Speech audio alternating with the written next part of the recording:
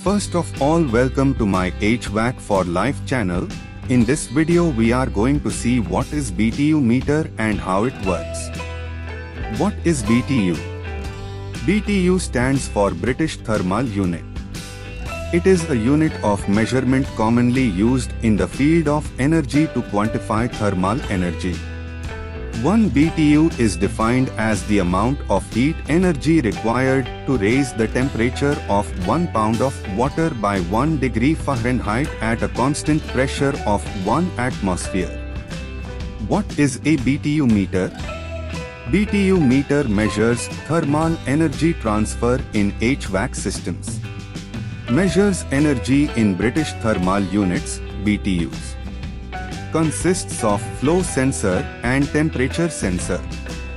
How it works? The BTU meter consists of two main components, a flow sensor and a temperature sensor.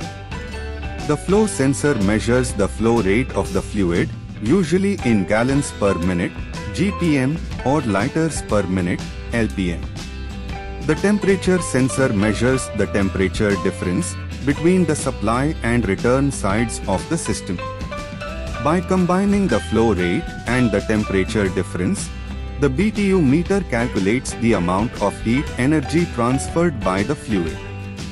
This information is useful for various purposes, such as energy billing, energy efficiency analysis, and system performance optimization.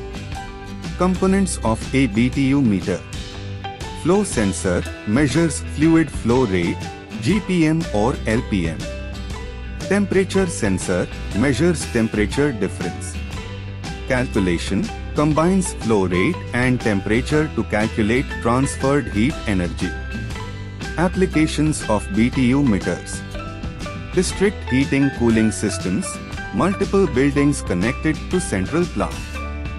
Commercial residential HVAC systems, Energy usage monitoring and optimization.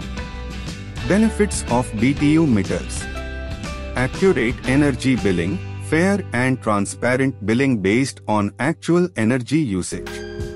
Energy efficiency analysis, identifying areas for improvement and reducing energy waste.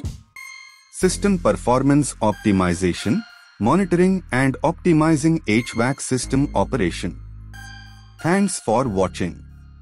Please don't forget to subscribe HVAC for Life channel and share with your friends and HVAC community.